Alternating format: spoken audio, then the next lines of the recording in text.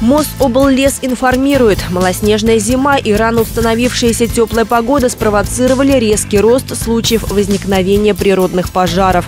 Основная угроза лесным территориям – пал сухой травы.